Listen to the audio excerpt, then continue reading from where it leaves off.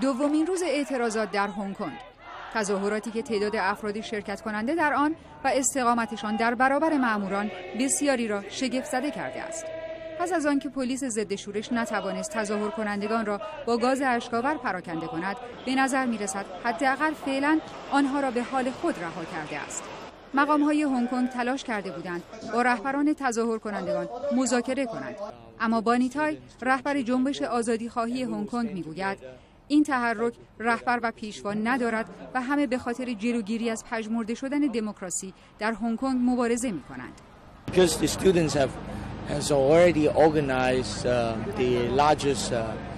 چون دانشجویان بزرگترین جنبش اشغال کننده در تاریخ هنگ کنگ را سازمان دادهاند. بنابراین فکر می کنم که تنها باید به آنها بپیوندیم. ما به این جنبش میپیوندیم. نه برای اینکه بر آن مسلط شویم بلکه به این خاطر که دانشجویان به اهدافشان برسند.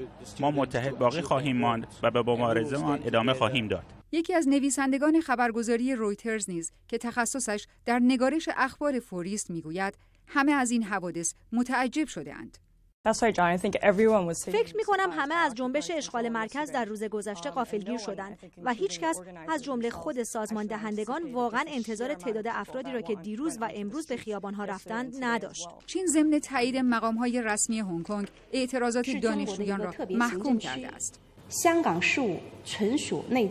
اما دانشجویان تایوانی که تقریبا دو ماه پیش در اعتراض به افزایش ارتباطات تجاری تایوان با خاک اصلی چین دست به تظاهرات زده بودند از همتایان هنگکنگی و جنبش آزادی خواهیشان دفاع کردند. قرار است تا سه سال دیگر اولین رأیگیری برای انتخاب فرماندار کل هنگکنگ انجام شود.